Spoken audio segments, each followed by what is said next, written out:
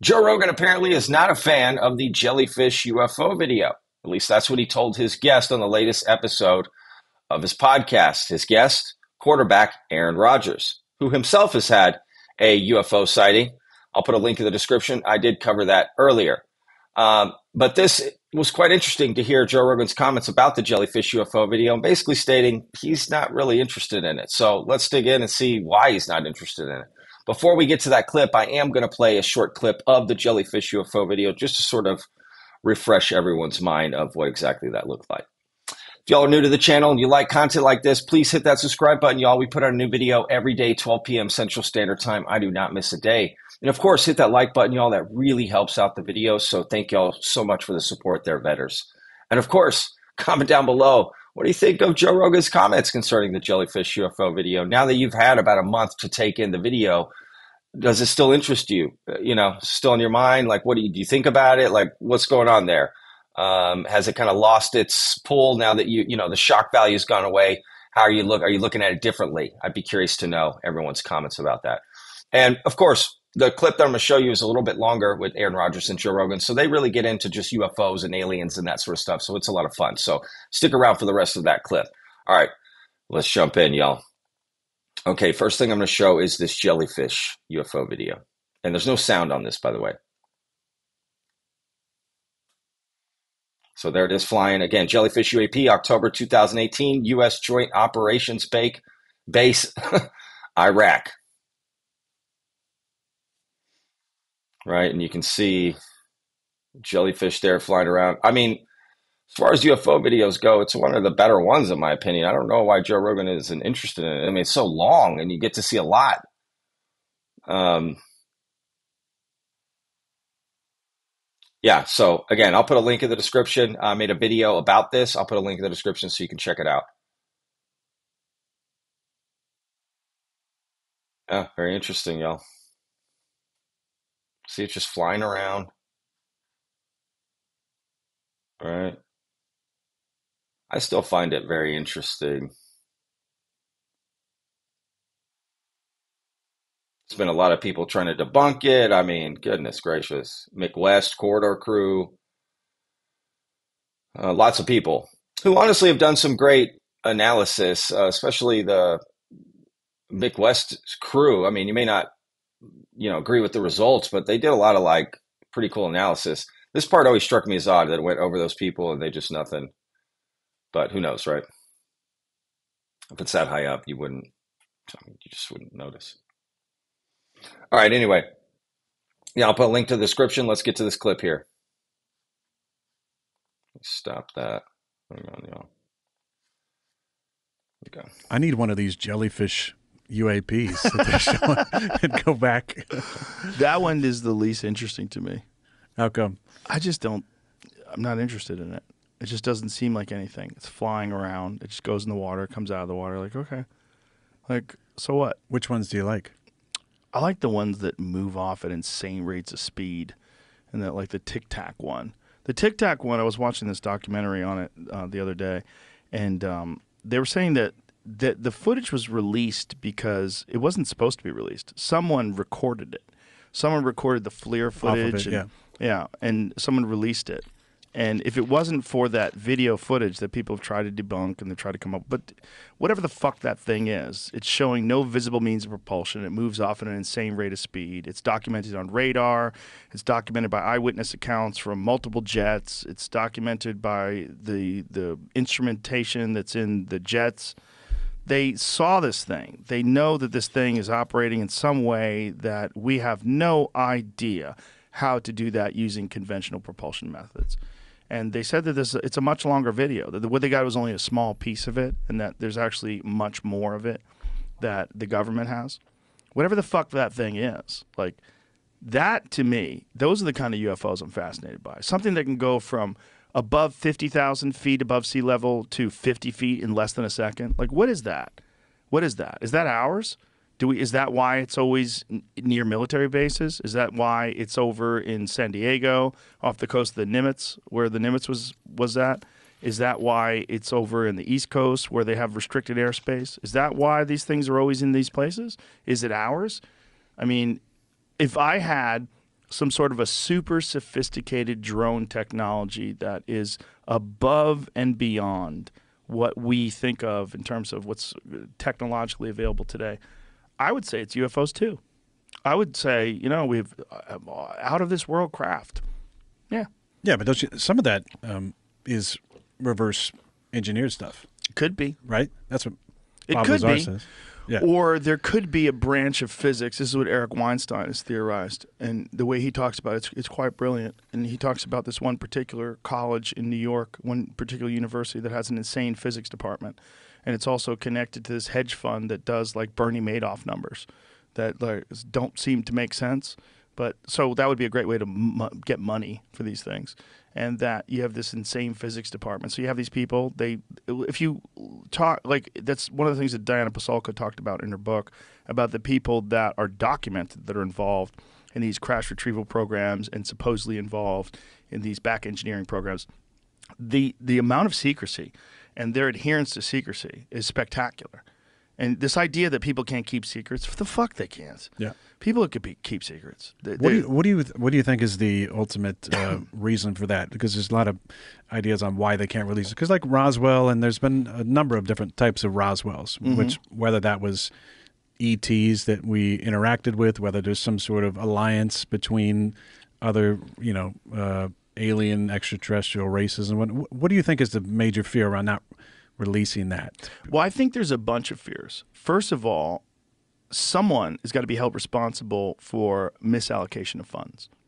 So let's say that you have uh, defense spending, you have some private company, which is, uh, by the way, which they all think it's private companies that are involved in defense companies that are involved in this research. Like the Lockheed Martin yeah, world, which are much better at keeping secrets right. you know, than the, the government is. And that if you have uh, misallocation of funds and you've lied to Congress, like someone goes to jail for that. You could, we're talking about laundering essentially. Could be hundreds of millions, if not billions and billions of dollars over decades. So who made these decisions? Did they make the decisions? Did, did Congress not know about it? So if they didn't know about it, they're going to want to know about it. And if they find out that you've been lying to them all this time, well, guess what? You're going to jail. So who's going to jail? Who misallocated funds? Where did the funds go? Was any of that funds filtered? Did anybody get wildly rich during this time? Was there some skimming like we think is going on in Ukraine? It, was there, you know, when you have a, a shitload But who went money, to jail when uh, Rumsfeld said on September 10th of 2001 there's $2 trillion missing, Yeah, we unaccounted for? nobody. Well, they, they couldn't account for, right?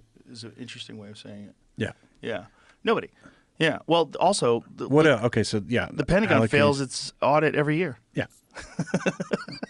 it's amazing. It's But they just hired all those IRS agents to go after Yeah, to go after everybody. Anybody who spends more than three hundred bucks. Yeah.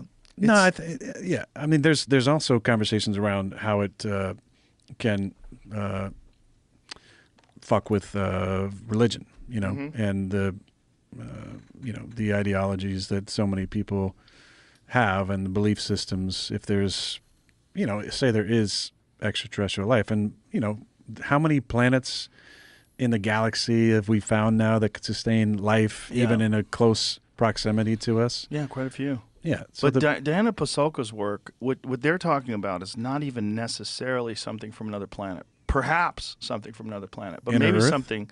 No, maybe something that's from in- another dimension.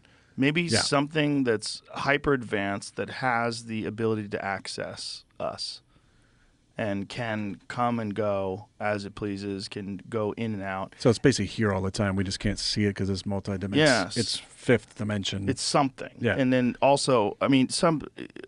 Again, this is what Bob Lazar talked about when he was on the show. He said, if you had brought a nuclear reactor to, you know, the 1400s Yeah. and showed it to people, it'd be indistinguishable from magic. They'd be like, "What the fuck is that? This Yeah. is sorcery.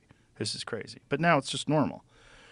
As time goes on, a million years, two million years from now, if somehow or another there's intelligent beings that have uh, continued this evolution of technology and innovation, they're they're going to get to a place where it's they they have the ability to do things that are unfathomable. You, you can't even imagine it. Your, your mind is not capable of it because you don't have a point of reference. You don't have context. There's not uh, pre existing technology that leads you to make a logical bridge towards this potential. That's, It's not the words. Like the Yeah. you know they talk about some of the stories in the ancient texts and the Bible. They you know they don't have the words to explain Mm-hmm. Yeah. like what a spaceship is. It's like no, it's like a chariot in the sky. Ezekiel. yeah. When you pull up the, the, the All right, so uh, I mean, basically, Joe Rogan's going to have uh, Jamie pull up uh, Ezekiel, and he spends like ten minutes reading it. Um, again, I'll, I'll put a link in the description. You can go check out the rest of the podcast. It's a great conversation. Um, they do talk a little bit more about religion and that sort of thing, and you know, uh, you know what they describe seeing in the Bible or other ancient texts. Potentially because they didn't have the words for it, seemed like magic, right? Seemed godly but really it was just spaceships, aliens, right?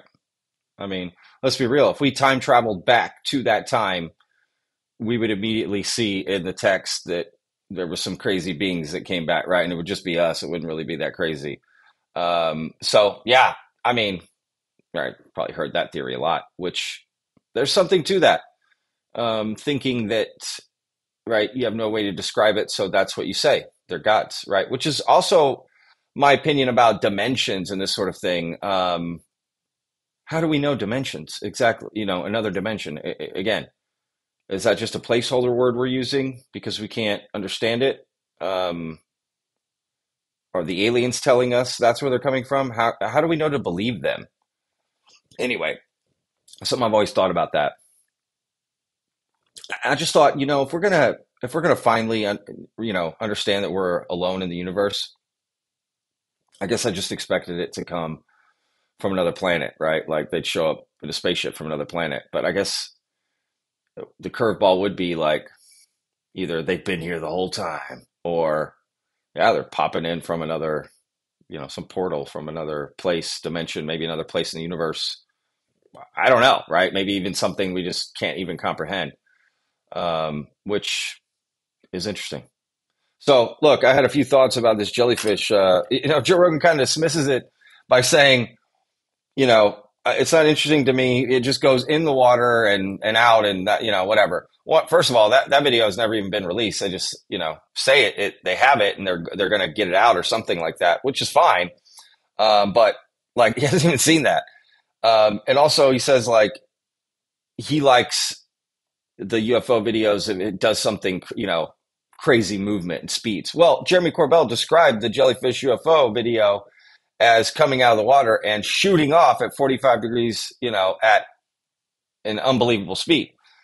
So I'm curious that Joe doesn't know that detail or just wasn't interested. And so he just stopped listening. You know what I mean? Um, that's interesting. But the Tic Tac is, you know, what, what fascinates him. Um, even though in that video, you, that, that's, you don't see any of that, but you have Commander David Fravor's testimony about it. So that's interesting that Jeremy Corbell is telling Joe, "Hey, man, th- this is this is legit." I don't know. Maybe because David Fravor's firsthand and Jeremy Corbell's just saying it's this is guy, you know, other people, other witnesses um, that have seen it. I don't know why that wouldn't hold equal weight to him uh, because he's had Jeremy Corbell on the show several times. So I don't know. And again, they're just bullshit. It's just two guys talking about UFOs and aliens and shit. So it's not really like hold them to this, right? I'm sure he could change his opinion or give a more nuanced take on it and clarify something. That's totally possible, right? But just his gut reaction of just yeah, not interested, just dismissing it. When again, a lot of people, including myself, kind of thought this was a great video. Just it was long, it was something to study, something to look at, something for the whole community to get behind and take a look at. Um, so I don't know and maybe he just means as a whole but i think it was great just for that reason. You know put out people could study it look at it try to figure it out. Something tangible right? Because usually all we have are stories. So it was nice to have something real. Uh, that's why i always gave props to corbell and Knapp for uh, you know putting that out like that just for that reason alone. Just gives us something to look at. Okay. You decide. If you think it's bullshit you think it's something that's up to you you know? So anyway yeah, found this. Uh, this was a good episode. Aaron Rodgers, Joe Rogan. Again, Joe Rogan talking UFOs. Uh, it's always going to be a good episode. So yeah, curious to hear what y'all think in the comments. Again, sort of a newfound look at this jellyfish UFO video? Does it does it sort of lose its its shock value or you know gasp? I, I remember the first time I saw it, I kind of gasped, you know, like holy Jesus Christ, what is that? Um, but then as things settle in, you know, start to see it maybe a little bit better. So I'd be curious if anyone's I don't know, changed their mind or opinion or moved the needle for themselves. I, I don't know. Be curious to hear that. Um, real quick update for the channel. Um, I was thinking about doing a video about Chris Lehto. I mentioned that in yesterday's video. Uh, if you don't know who he is, he runs a channel called the Lehto Files. He's an F, an ex uh, fighter pilot who you know studies the phenomenon, has videos about it. Um, I decided against making the video about him. I don't really want to go into too further detail. I just didn't think it was the right thing to do considering the circumstances. So all I have to say is I wish Chris and his team the best. And I hope all my only message for Chris is, um, you know, just be thinking about the people around you that have to you know run the discord and run help you with your videos and stuff like that. Think about think about them a little you know just just consider them. So um, thank y'all again for watching today's video. Um, hope you enjoyed it. Can't wait to see you guys tomorrow again every day 12 p.m central standard time y'all. So very excited for tomorrow's video. It's gonna be a good one. Yeah you're gonna want to see it. All right y'all We'll see y'all tomorrow. Remember, every day's a gift.